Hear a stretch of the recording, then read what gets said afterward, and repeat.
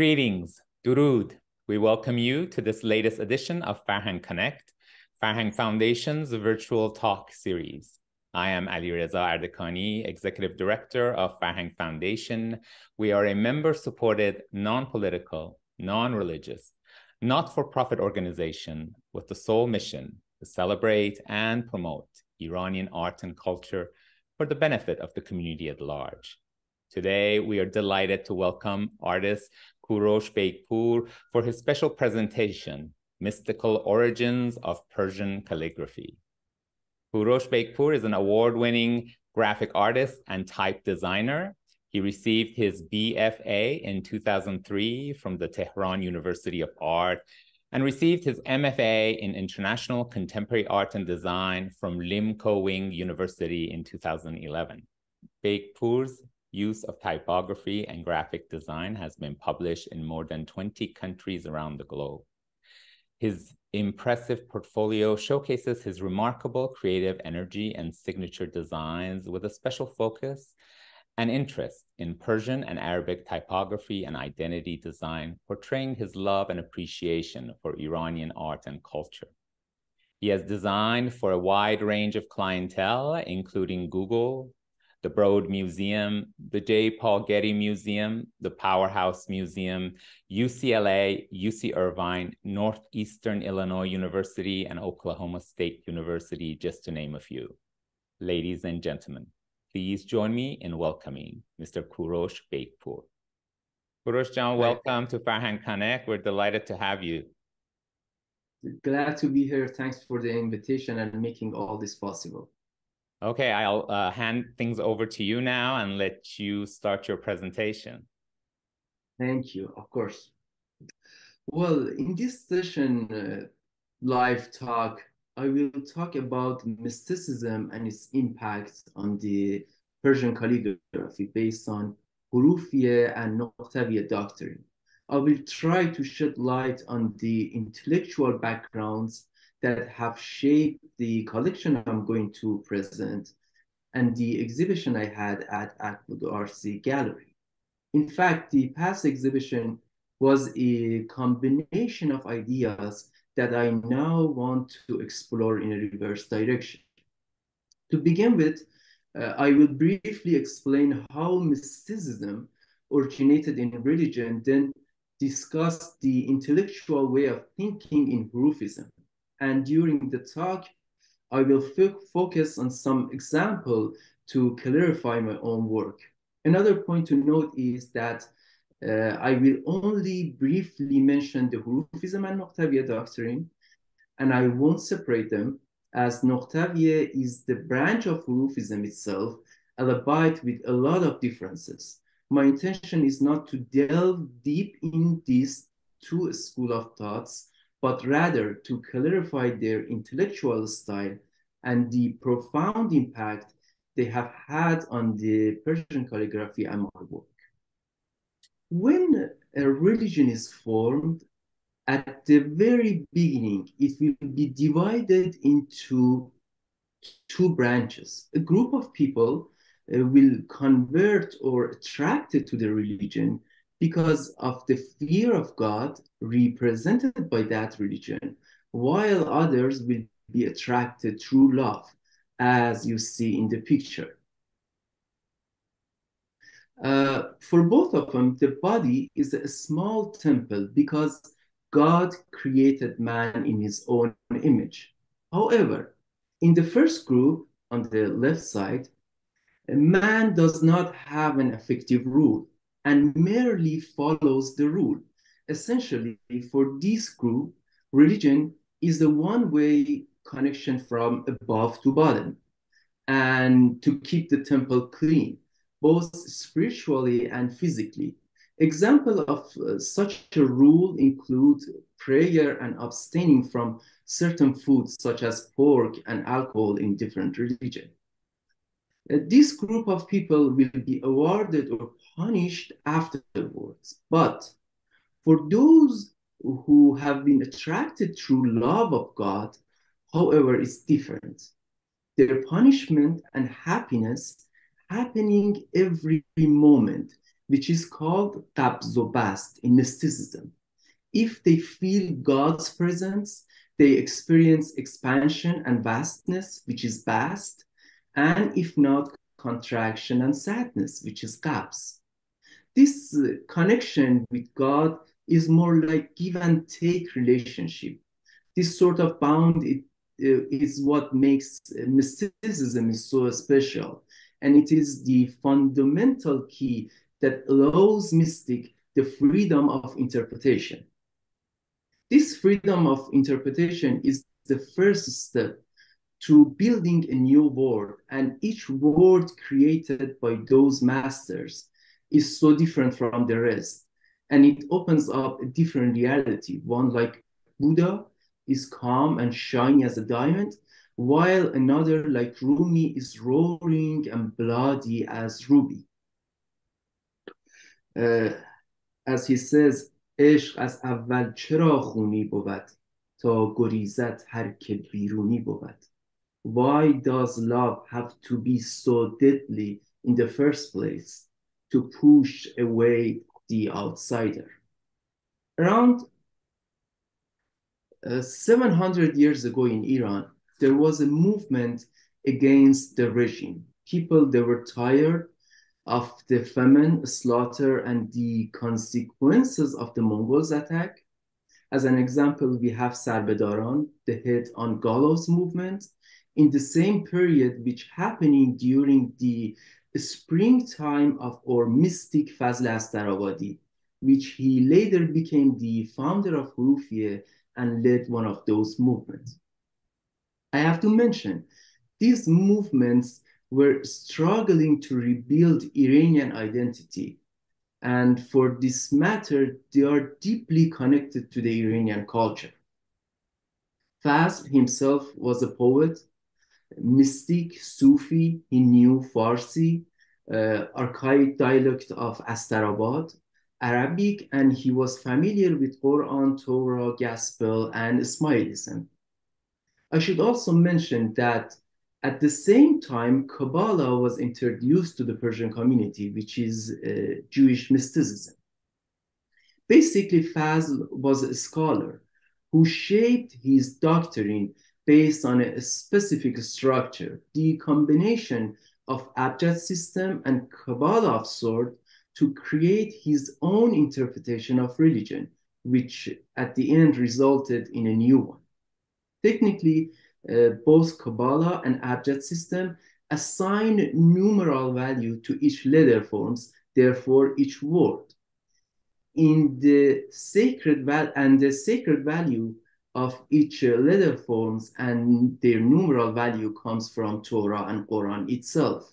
For example, uh, God gave Moses instructions to create a sanctuary called Holy of Holies, Kodesh HaKodeshim, in the shape of perfect cube with dimension of 20 by 20 by 20 cubits.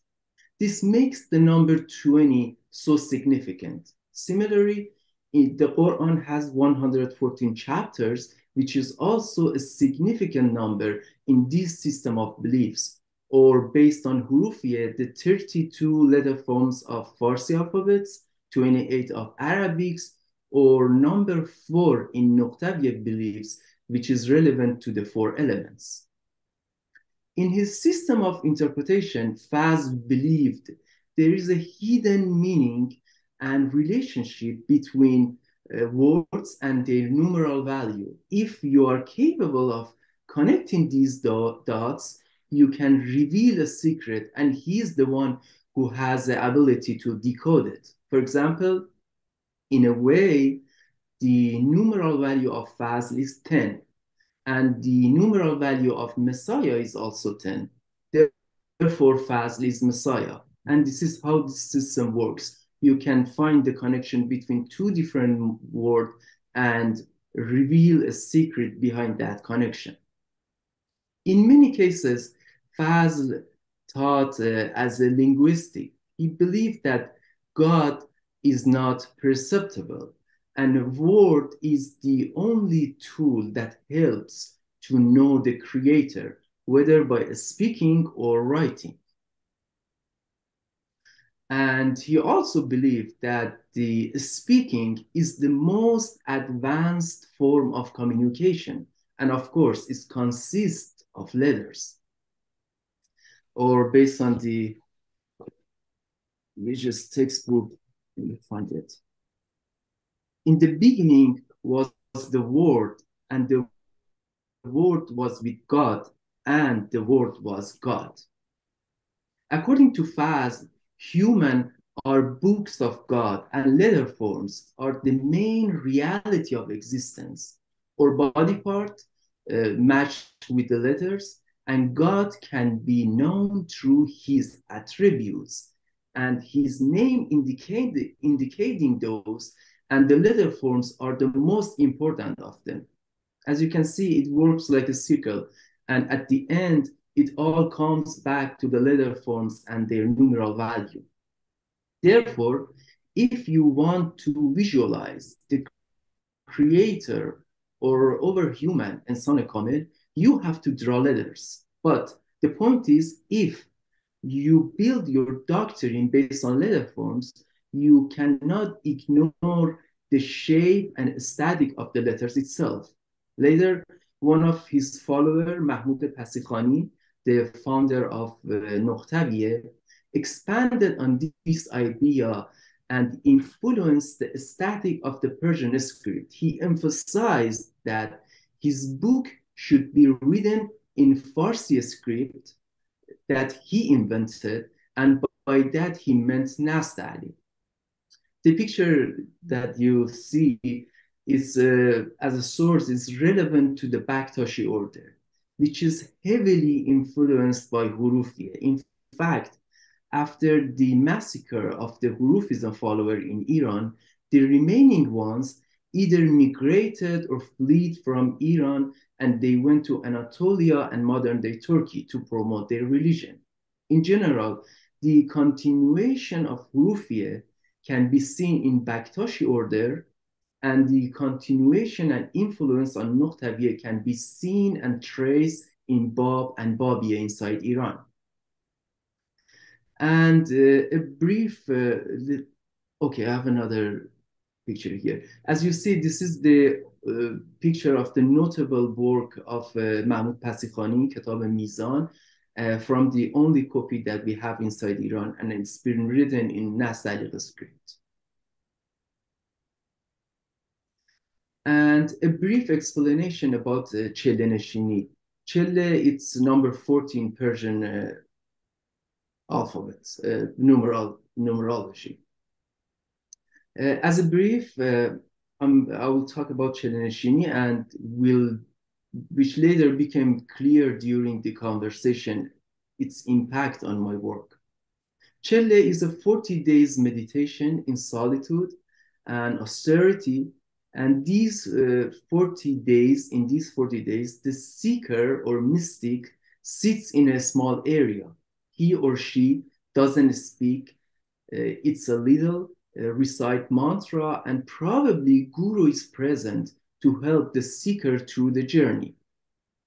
Apart from the fact that sitting in a circle as a part of sacred geometry is considered a safe space and create a place for concentration, the power of the words and rhythm resulting from the recitation of mantra is also very important.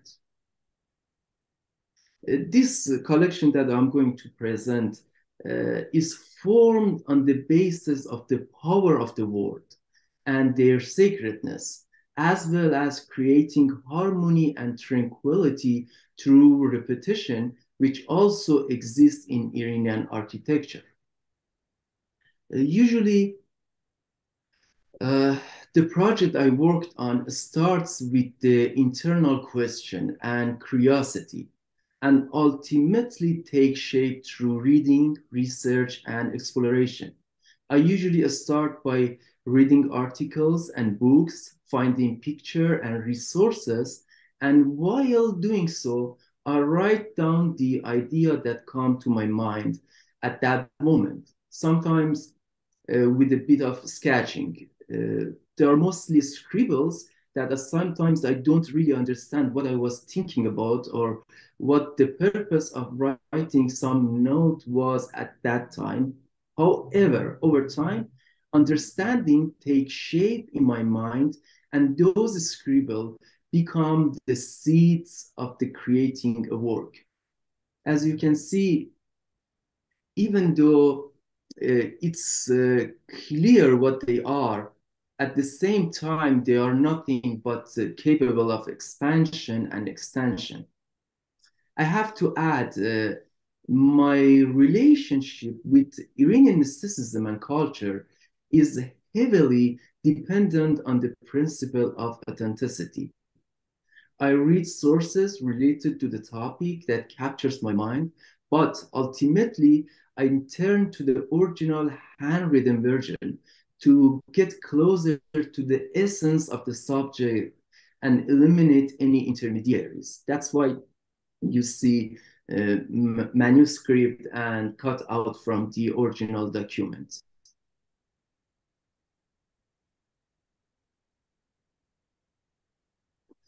Okay, uh, for example, in these pages, I have been studying celestial patterns and constellation and sun. And at the end, they reveal themselves as a series of dots in the artwork that I will definitely talk about the reason of their appearance.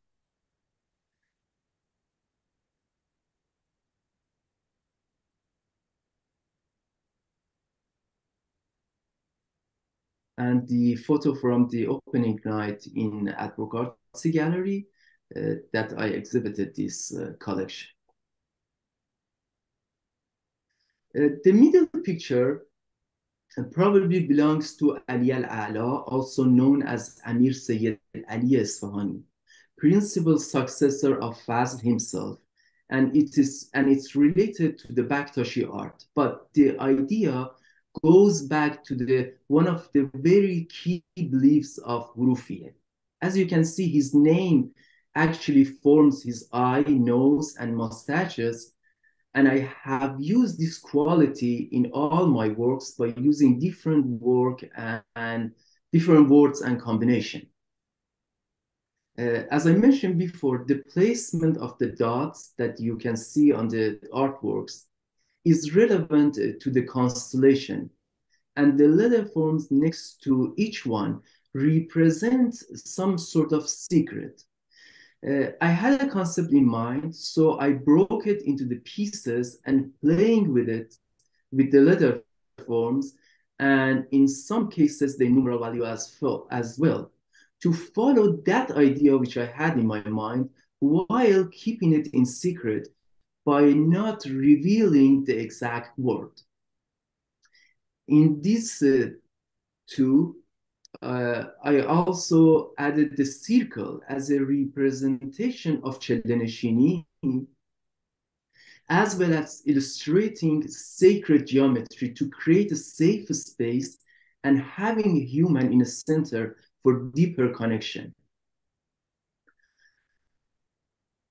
And uh, the one you see on the right side is the recent example based on the same perspective. Uh, also, I had another idea in mind. Uh, I was trying to show the demonic and angelic side of the human in this series of work. That's why some of them it looks like demon. Another photo from the opening night. And sacred geometry. Sacred geometry is another topic that always sees my attention in sacred geometry, in addition to geometry order, the shape themselves are also are they are also significant. Uh, as I mentioned before, repetition creates a rhythm, which in turn creates calmness and tranquility.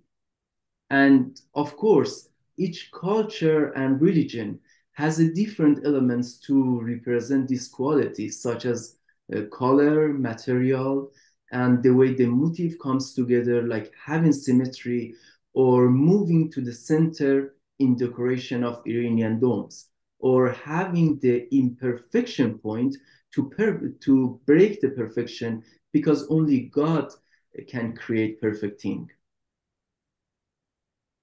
And these works, uh, I focus on playing with letter forms, their numeral value, and their combination.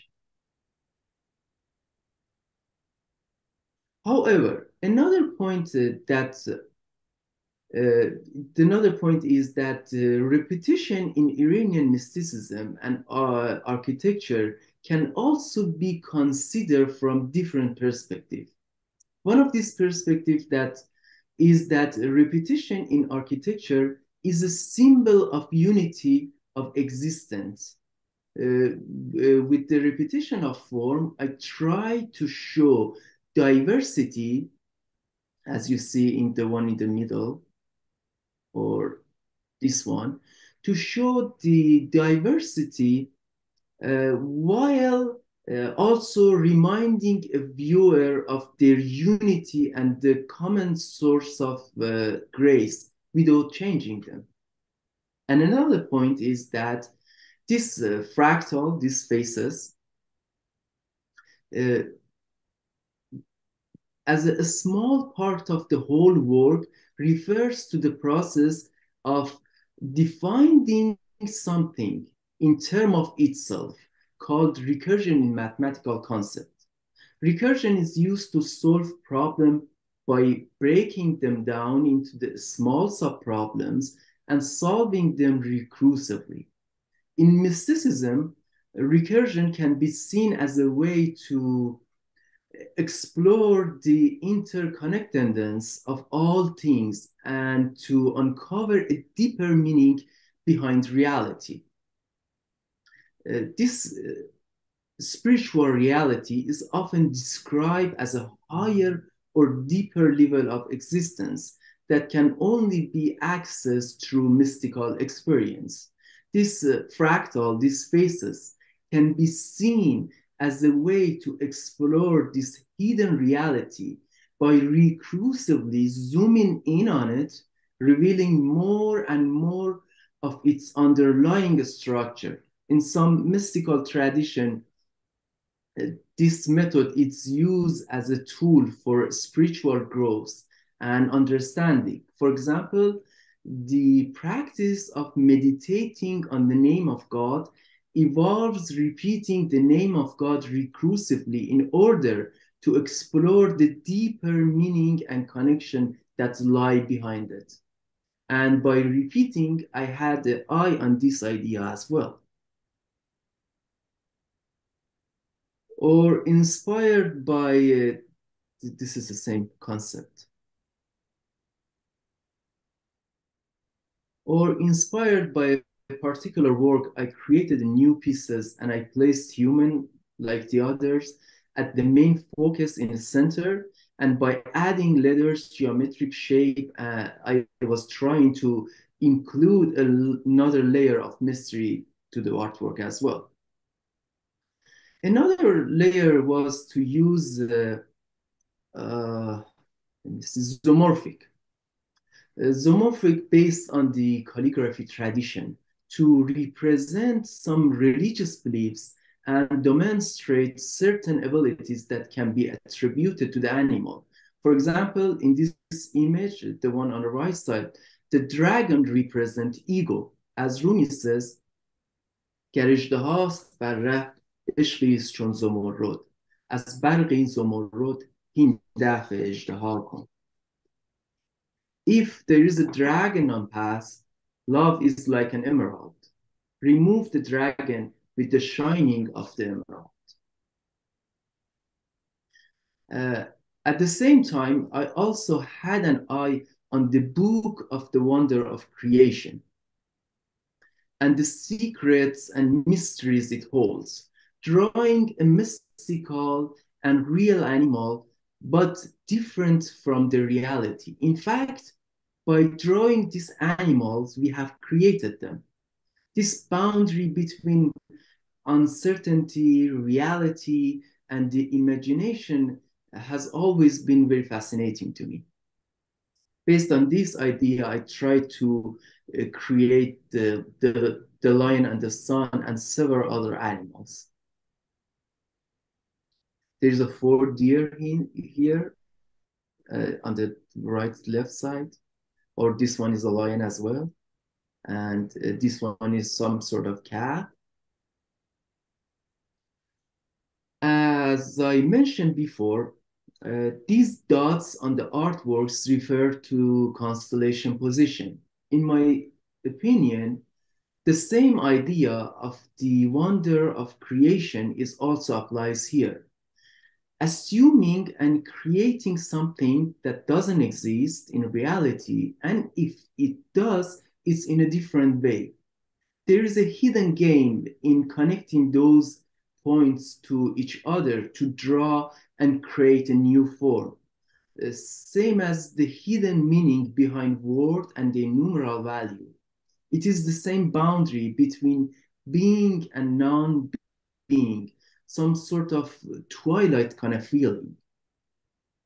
And they are the sample of the uh, the Wonder of Creation books with those dots on it, which is the placement of constellation. And if you believe the power of the word and their secretness, why not wearing them? Uh, like our ancestor used to to protect ourselves from what's happening out there. That's all. Thank you. Thank you so much for that presentation. Now we have some time to go over some questions from uh, the audience. Uh, so let's start. Um, in your work, I see some aspects of Jap- Japanese influence, especially in your uh, sacred uh, geometry canvas works. Can you please explain how you're influenced by Japanese printmaking? Yeah, actually, give me a second to show you something. I was thinking I'm the only one who uh, found the connection between uh, Iranian mysticism and Japanese sort of thing. But recently I found this book, The Sufism and Taoism. It, wow. it seems this uh, culture that uh, have been uh, like traveling through the region from the Japan to Iran to China and India. And uh, to be honest, we cannot separate them from each other. It's some sort of interconnection between them, uh, as well as uh, I'm fascinating, but uh, but with Taoism and the, like the Japanese spirituality. So if you see some effect of uh, on that in my work, it's not intentional. It's just happening uh, while I was working. Oh, that's amazing. um, the next question is uh, Do you design digital fonts that users may be able to purchase or download for use on computers? yeah, of course. Uh, of course. I have uh, several books on uh, several fonts on uh, Google Font Directory, which has which they are uh, like a free to use. You can just download it. And I have several on Adobe fonts that needs to be purchased from Canada type foundry. And there are a few around as well. Okay, great. I'm sure a lot of people are interested in those. Um, when designing a font, what is the process of conveying the message as well as the social and political circumstances of the font you're creating? Uh, to, to, to be honest, it, I follow the same rule that uh, I do when I create artworks. There's a curiosity or there is a need for something.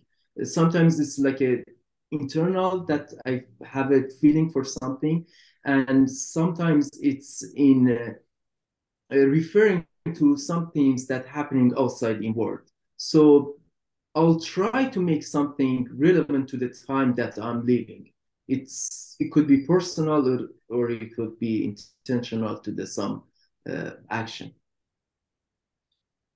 That's fascinating. Um, the uh, i love your design of lion and sun. Can you explain the significance of this symbol in your work or in general in iranian culture? And if it has any uh, connections to astrology or astronomy the, yeah, yeah, of course.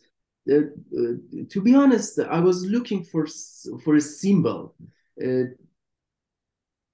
relevant to the wonder of creation that I was talking about. I was looking for a symbol to create some animal which has a deep connection to the Iranian culture. And to be honest, I couldn't find anything most powerful and relevant than Lion of the Sign. And of we know that it's a really old symbol. It backs to the like a thousand years ago. Uh, and I, if I'm not mistaken, we have a coin of Anahita, which is standing on a lion with the shadow of the sun. It backs to the 700 years ago. And during the Safavi, the Qajar, it became a symbol for Persian Iranian com community. So uh, that was the only thing I was thinking about when I work on that. And recently, I'm making a, like a dragon kind of sort of animal based on Shahnameh as well. So I'm looking for the animal which has a deep connection to our culture. Yes, and I think it's really interesting to learn the, the origins of the lion and the sun because there's so much uh, um, misinformation out there as to what it symbolizes. So exactly, uh, yeah. Um, one thing I wanted to ask you myself is how did you get interested in calligraphy and fonts and text in general? Uh, well, uh, as you probably know, I was born in Kermanshah as a Kurdish uh, Kurdish boy. So I was always uh, affected, not affected, I was close to the spirituality. When I went to the art university, uh, it was the booming of the graphic uh, like a design because of the new era era in Tehran. So and the graphic was all around the places and uh, Reza Abedini, the famous Iranian graphic designer, he he had he had he, he made a bridge between traditional uh, Iranian calligraphy and the modern day graphic design, and it was really fascinating to me. I went to him and I was practicing. I was looking at the new examples, and uh, little by little, it's passed for like 25 years that uh, I became mesmerized by the beauty of the Iranian calligraphy and art. That's great. I noticed uh, in your artwork that you presented in the presentation that was at your exhibition, you have a very specific palette of colors that you use. Is there a reason for that, or is that personal preference, or anything behind that? Yeah, there is intentional. For the palette that I'm using, uh, regarding the graphic design kind of uh, artwork, uh, I usually try to make the palette based on Iranian color that I see in architecture, carpet, and things. Hardly ever I use like a sharp, sharp color, uh, as we don't have it in Iranian art. It's always mixed with something. Uh, for this collection that I represented, it was really intentional. I use gold uh, as a symbol of blood, which represent the human side, and the gold uh, as a symbol of the greater creator or the god uh, at the same time to show the demonic and angelic side that we have and the, the black color as well uh, which is relevant to the iranian mysticism uh, this is a question I think uh, maybe many people are thinking is where can we see and learn more of your artwork reference in this presentation? I mean, you have your own website, but I, with which we will share with uh, everyone on on the screen. But if there's anywhere else they can go to get resources on you. But your artwork is uh, was featured at Advocartsy, correct? And um, yeah, yeah, exactly. Yeah, Exactly. The, the gallery present me, and uh, it's my honor to work with the Advocartsy Gallery.